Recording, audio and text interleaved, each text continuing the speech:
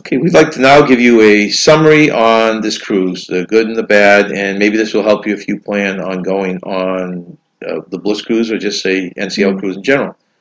Uh, this is another great cruise. Uh, considering that the cruise ship was full, which we're not used to, the uh, lines for things weren't that bad, and the pools were never that crowded. No, I didn't think they were crowded. Um, I'm assuming it's because of the time of year, the length of the cruise, and the number of children was very low on board. Were probably the main reasons for this. It seemed like the majority of people who applied for upgrades, which we've done in previous cruises, uh, did not get them, including us, Mm. which tells you it was full. Two, uh, the elevators seemed to only be crowded after an activity concluded, which is logical. Yeah. We decided that we loved the larger ship and the smaller ships equally. Uh, we Mhm. found just as many advantages and disadvantages between the two and wouldn't hesitate to take either one for future cruises.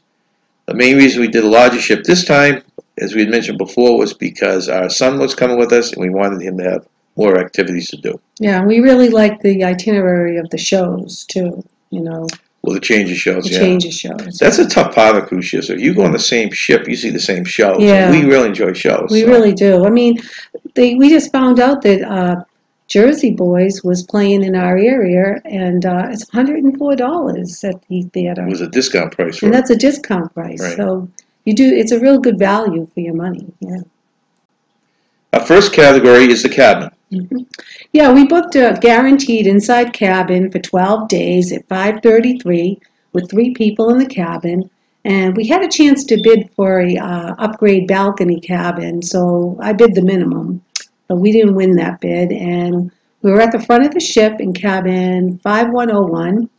And the cabin was small with a full-size bed and a bed that dropped down from the ceiling. And we also had a fridge.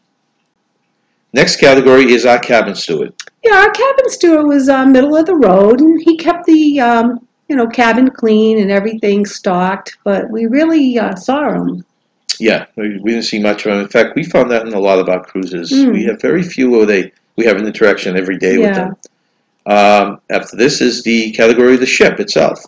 Oh yeah, this was our second cruise on a bigger ship, and we liked the amount of things to do on the ship. Um, since we had gone on the NCL Escape last year, we were fami- very familiar with the similar layout of the Bliss and learned how to navigate the ship uh, on the first day. And we took part in many uh, activities um, and recreations on the ship. Yeah, we found out that all the breakaway ships are basically laid out the same way. So once you've been on one of them, it's pretty easy to, to Mm. know where everything is. Uh, Okay, next is the food on the ship.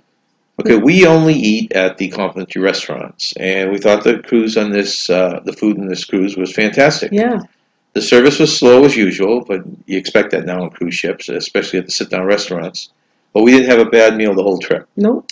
We thought the meals were the best that we've had on all the cruises that we've taken at both the sit-down and the buffet restaurants. This is really good food. Food was fantastic. We actually ate less at the sit-down restaurants, which we always had a 5 p.m. seating, so that we could have a snack later on the buffet. Mm. Because we always felt if we didn't go to the buffet, we'd miss something. I know. I thought the buffet food was really good. Not, you know, as um, compared to the uh, previous cruise. The pizza and wings were the best we've ever had on a cruise ship, uh, which led us to many, many late night snacks. And what are some of the foods that just jump out at you? We mentioned the wings and the pizza. Uh, anything else that jumps Well, we out at you? really got into some of the Indian cuisine. Um, they had some unusual um, Indian dishes that we both liked. I can't remember the names of them, but they, Right. they were really good. well, one of these was they had deep fried mushrooms. Oh, three different nights, which are that's right, delicious. yeah. It was a, an Indian spice batter. Yeah. So the food overall was great. The local, we enjoyed stopping there for snacks, complimentary complimentary restaurants. Oh, We they even had bad- some delicious Thai food that um, I got into the That's right. That and the soup station. Yes, another novelty. that was another we- novelty, We're yes. not used to. yeah. Okay, so move on to the next one, and that would be the entertainment. Mm. We thought the two main shows, Six and Jersey Boys, were, were excellent. Um, we enjoyed them as much as any show on any ship. Um, I happened to see Six twice because I loved it so much. And both were Broadway shows and shows that fit our taste. Um, like I said, we went to both shows twice. Um, the bands and uh, the entertainment around the ship were also very good. And we thought several of the comedians were great and liked a lot of the smaller shows. Um, we also did smaller shows um, like uh, Prohibition, that was very good. That was the Um, the extra fee. Yeah, but it was worth it. It's a it's a good show to see at least once. So do you agree? Probably the, the two main shows, um, Six and, and Jersey, were probably the best. Definitely. We really enjoyed the Beatles. We saw Oh, those yes. many, many times. Yeah, the Um, Beatles are my favorite group, so I really enjoy them. and the comedians were enjoyable. So basically, uh, the temp- the entertainment was very good. Yeah, I, overall, I give the entertainment uh, a nine. Yeah, I'd give them a seven. You need to really get it up there to get me higher than seven. But it was great. Next category is the activities on the ship. Yeah, like all ships we have been on, the uh, Bliss had plenty of activities that we took part in. Uh, I wish we had time for more of them. Um, the racetrack was fun for my son, um, but it did take up too much room on the, you know, top deck. Um, the mini golf um, was only five holes. But the slides were great, and we tried the laser tag. That was ten dollars for uh, two five-minute games, and that was a lot of fun. And we enjoyed watching the uh, ball games and videos on the giant screens. Yeah, overall, it, it was a novelty. We'd never been to had the laser tag or the go karts on a ship, so it was a novelty. But if I had my way, I'd take both of them off there. I like the other ships, like the Escape, that had the rope course and uh, climbing wall, and there was no uh, basketball court or anything on Oh, the ship. Oh, that's true. Yeah. So you know, it was different, uh, but I would I like the other style top deck uh, Mm. better than this one. Next thing we'd like to talk about is the atrium, which is my biggest pet peeve on any of these larger ships. Yeah. This was probably the one and only thing we didn't like on the ship. First, I have to say that the whole atrium is beautiful. The lighting was always changing, and the whole ship, including the atrium, was nicely decorated for Christmas. I'm not sure who designed the atrium, but it's the most ridiculous layout I've ever seen. Everything was run in the atrium, and we were there every day for something. The atrium was always overcrowded. They used the giant two story screens for everything from music to games, and only the people who were close to the stage could see everything. They put out some folding chairs, but the views were blocked by the overhang of the second deck. There was no walking path to move around, and people were just tripping over each other. A simple solution would have been to move some of the bigger activities like Deal or No Deal, Newlywed Game, um, to the Bliss Theater like they did on the smaller ships. And this is our complaint with the Escape too. I don't understand why they do this. They have other, plenty of other rooms that are bigger. Uh, seems like a simple fix, but that's our one only complaint, Yeah. really. Now we'd like to say a little about the ports that we visit. Yeah, one of the main reasons we took this cruise was because of the va- variety of the ports. Uh, we enjoyed them more than I thought we would. San Juan was canceled because of uh, the evac. Yeah, that was a evac. Yeah, and we had to go back to North Carolina. right, right. And uh, on St. Thomas, we did a snorkel excursion to see the turtles, fish, and swim at a beach. That was great. Um, and this port, um, the third port, uh, was St. Kitts, and we thought about staying on the ship, but decided to do a little exploring around the port. And the port area uh, looks like it has improved a lot um, since our last cruise. Um, after walking around the downtown area, we stopped at a bar that had two monkeys and ended up playing with them for over two hours. Yeah. Yeah, that was that was a lot of fun. Uh, the fourth port was St. Lucia, and we walked um, we walked a lot um, in St. Lucia. Yeah, we Um, just explored the downtown yeah. area and stuff. uh, we walked all around the downtown area and then a couple of miles to a beach. Uh, the fifth port was Barbados, which was our favorite port. We walked downtown and then to several beautiful beaches.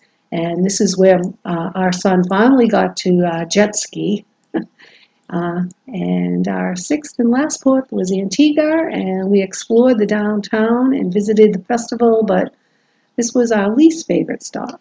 Yeah, one thing I have to say is it, was a totally different dynamic with my son there. Uh, we would probably not have ventured out like we did on this cruise into the towns.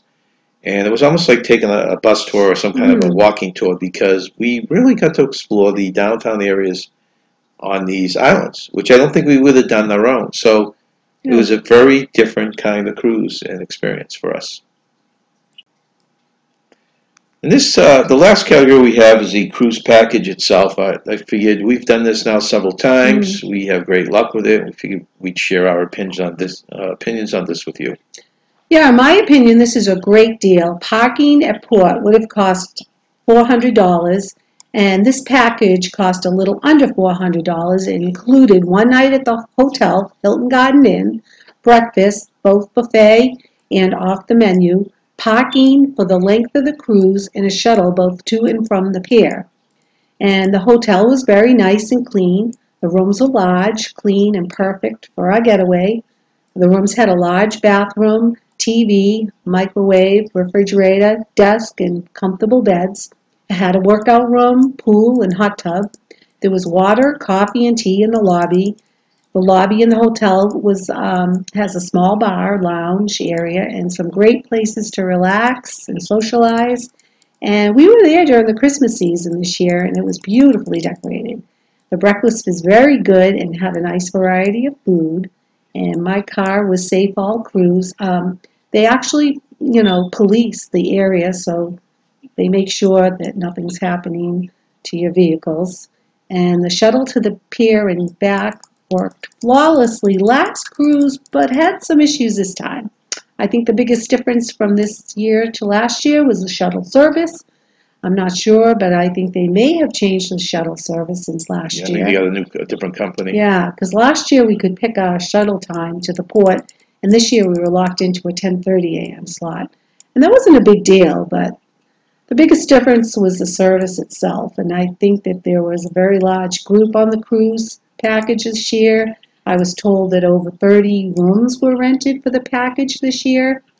Uh, several vans had arrived at the hotel at one time, and each person was assigned a van to bring their luggage to and they were supposed to ride with their luggage. Makes sense, right? But for some reason, people were being directed to the wrong vans, and luggage was being moved all over the place. And one family, they had their uh, bulk of their luggage in one van, and the group spread across three other vans. Um, but hopefully, this will be straightened out soon. And the other bigger problem this year was the pickup. We were all supposed to be at the meeting spot by 10:30 a.m.